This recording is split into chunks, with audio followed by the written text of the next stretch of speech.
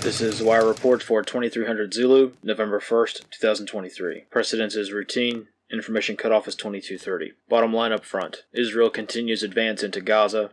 Casualties mount on all sides. Beginning with international events. In the Middle East, Israel continues to take casualties in their advance on Gaza City as information operations from both sides obfuscate the situation on the ground. Demonstrations throughout Israel intensify as Israelis protest in opposition to the invasion of Gaza. So far, most counter government protests have been swiftly put down by authorities. In the south, Israeli forces have engaged in a western advance to the sea and are expected to reach the beach by tomorrow. This maneuver will result in the isolation of Gaza City into a northern pocket and allow a south to north advance from central Gaza into Gaza City. Analysts comment. This will also effectively cut off any evacuations south for the millions of Palestinians who have not been able to leave Gaza City. It is not clear as to if Israel will allow fleeing civilians through their lines to the south, but this is unlikely for now as the situation remains highly dynamic. In Western Asia, Pakistan begins the process of deporting hundreds of thousands of Afghan refugees who fled the country following the Taliban takeover two years ago.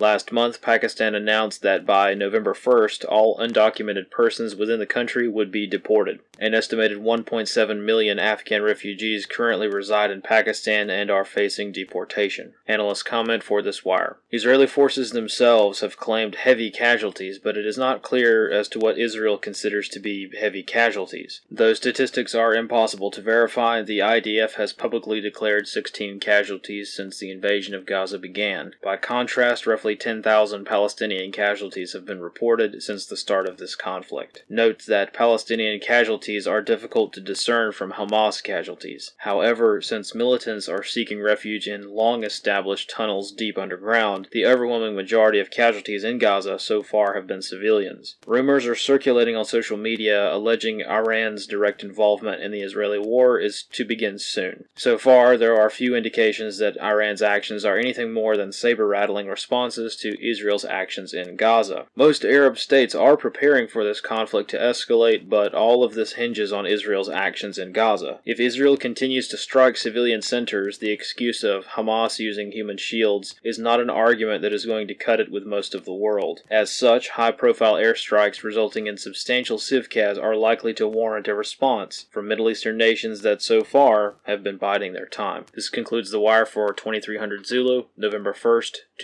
2023.